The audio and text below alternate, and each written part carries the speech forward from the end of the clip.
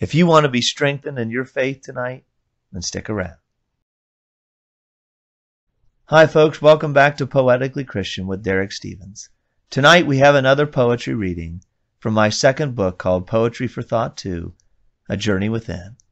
Tonight's poem is simply titled Faith, and it's designed to strengthen yours. I hope you enjoy. Faith. Faith is the substance of things hoped for, the evidence of things not seen. With God, all things are possible, if only you will glean. Faith without works is dead, so put your hand to the plow.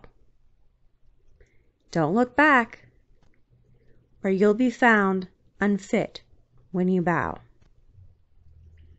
God so loved the world that he gave his only Son, so they that believe and are baptized may be saved, everyone. Christ was that beloved Son who went to prepare us a place where God will wipe away all tears, and all shall behold true grace.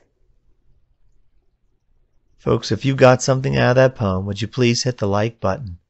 And if you've been spiritually fed by this content and want to see more like this, please hit the subscribe button and let us know so you won't miss a thing.